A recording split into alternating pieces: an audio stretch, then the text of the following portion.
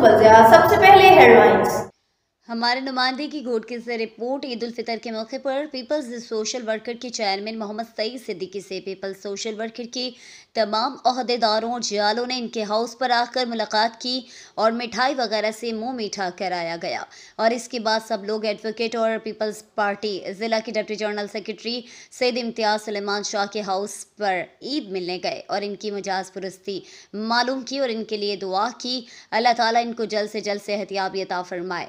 इस मौके पर पीपल्स पार्टी सई के नायब सदर Mohammad Saeed Siddiqui, advocate Rao Riyaz Rajput, minority wing के जानी शंकर, पीपल्स सोशल वर्करों के अहदेदारों में रजब खान अबड़ू जहांगीर अबड़ू सोहबत, चाचड़, नजमुद्दीन कोलाची, कादिर बख्श, अब्बास, राव नदीम अख्तर और काफ़ी जियालों ने शिरकत की।